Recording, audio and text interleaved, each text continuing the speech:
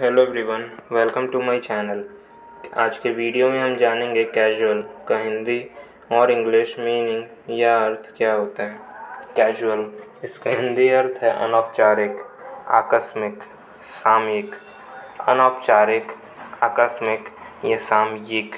वहीं इसका English meaning relaxed and not worried without showing great effort और interest relaxed and not worried without showing great effort और interest एक example से समझते हैं इसे। Example you look nice casual but professional यहाँ पे कैजुअल का मतलब है आकस्मिक। उदाहरण, आप अच्छे दिखते हैं, आकस्मिक लेकिन पेशेवर।